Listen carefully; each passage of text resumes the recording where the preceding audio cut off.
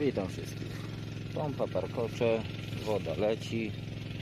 Trzeba to troszkę zacząć podlewać y, ze względu na to, że jak patrzyłem to y, za okres maj i do dziś, od maja, od początku maja do dziś, y, no u nas tutaj bynajmniej u mnie na moim wodomierzu co zliczyłem to jest 60 mm i wszystko, nic poza tym. Towaru trochę wisi na drzewach więc trzeba o to zadbać. Więc puściłem wodę. E, będę robił próbkę na jednym rzędzie. Nie wiem czy dziś czy, czy, czy kiedy. Wezmę sekator i po prostu poklikam o takie opcje wyklikam tam gdzie są pędy. Spróbuję skrócić te pędy. Zrobię nie wiem może pół rządka. Zobaczymy e, z obu stron żeby to było jakoś miarodajne jak to będzie wyglądać. E, czy będzie to jakaś e, różnica w tym jak się te owoce będą zachowywać.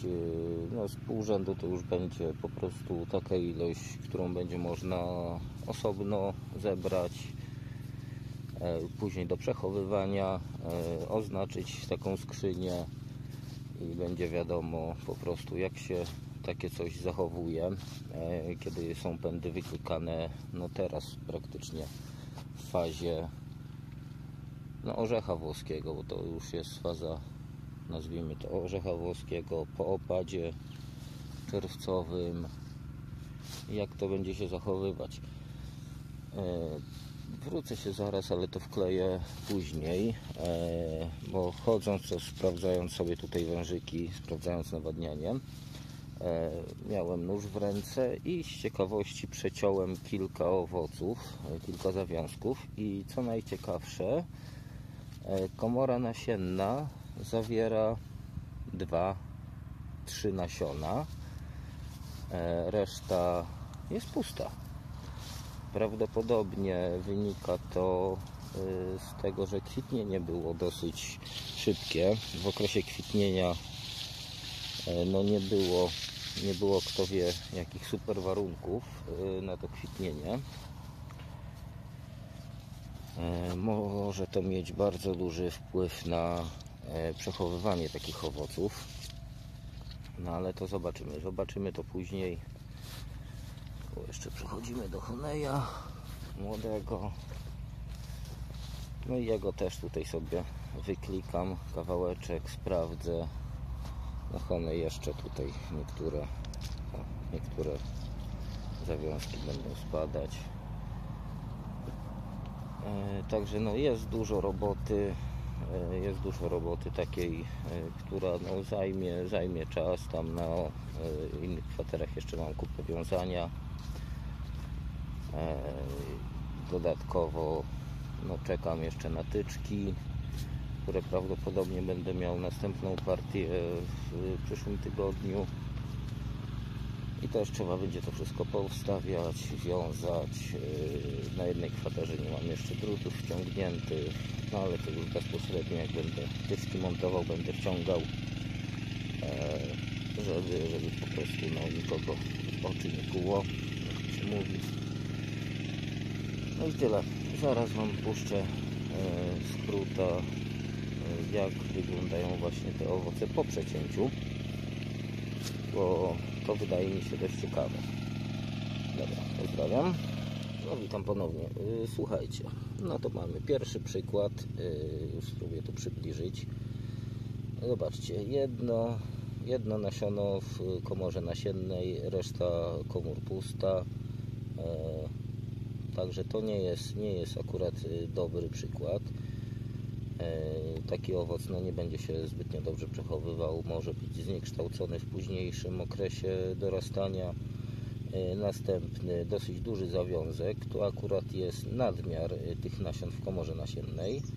E, zwróćcie uwagę, że jest po dwa, dwie komory, gdzie jest 2-3 nasiona, trzy komory, gdzie jest 2-3 nasiona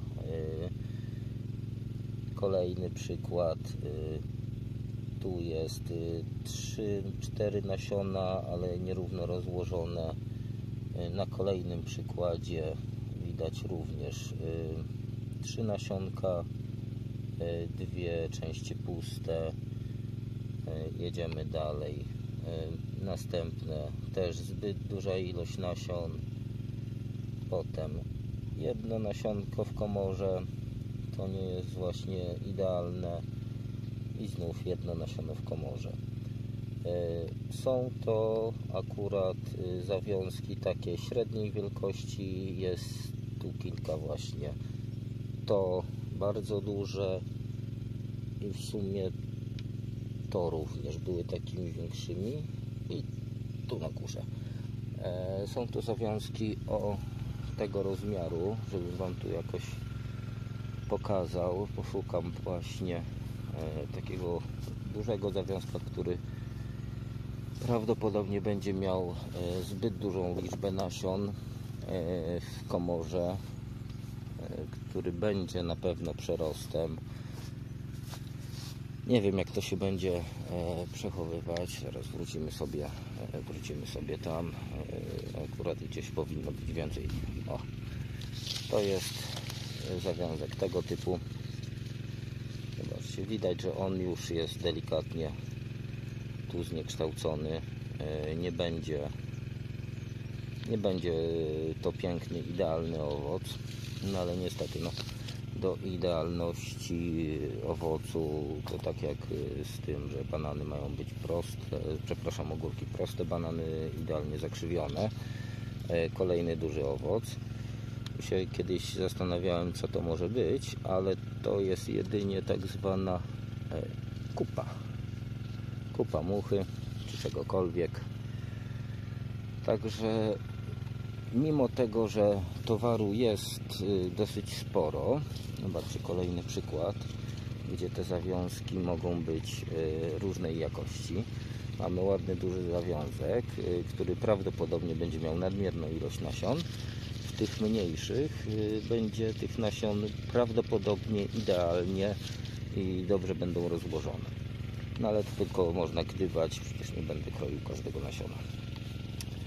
No i tak by to wyglądało. To taka mała ciekawostka. No i później wezmę się troszkę za klikanie, zobaczymy jak to wyjdzie. Trzymajcie się, cześć. Słuchajcie, kawałeczek yy, podciąłem. Yy, wygląda to mniej więcej tak, że no, owoce są w miarę fajnie odsłonięte. Yy, zawiązki tutaj. No może nie jest to idealne jakieś tam klikanie ale zobaczymy, zobaczymy jak to będzie wyglądać później. No poodsłaniane są owoce. Teoretycznie no pęd, którego nie ma, nie zabiera y, nam tutaj nic, co ma dostać owoc na ziemi. No to dużo tego nie ma. No ale będzie, będzie ciekawie to poobserwować, jak to będzie wyglądać. Na pewno yy, zawiązki, które są, będą miały dużo więcej światła.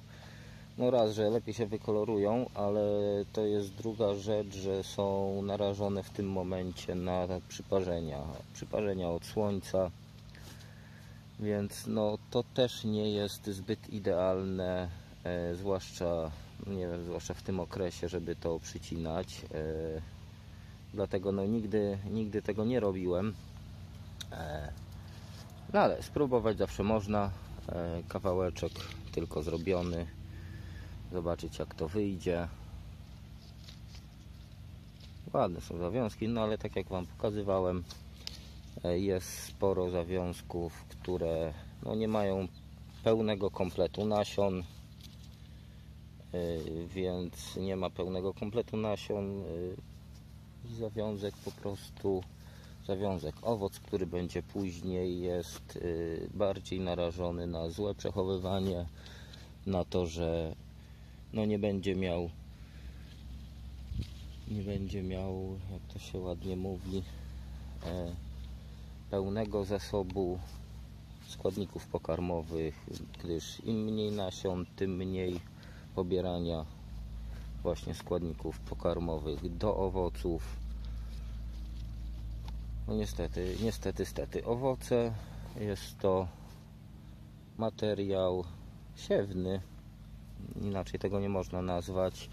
Każde drzewo, wszystko dąży do reprodukcji, więc im więcej nasion, tym lepiej.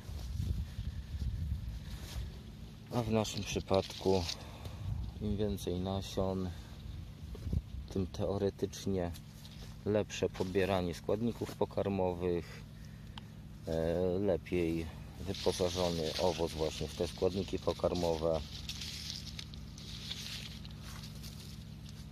i powinno być wtedy lepsze przechowywanie tego owocu. No ale gdybać możemy, więc tutaj nie będę nawet nic gdybał jeszcze do zbiorów, do przechowywania bardzo daleko. Tu nawet kawałeczek zauważyłem na może dwóch przęsłach y, jakieś drobne ślady po gradzie. Y, Nie były to żadne przecięcia czy coś takiego, po prostu takie odciśnięcia. I nie było tego dużo, gdzieś, gdzieś kiedyś musiało coś tu być na rzeczy. Dobra, kończę. Wracam dalej do pracy. Pozdrawiam. Dzięki bardzo za kolejne subskrypcje i do następnego. Cześć.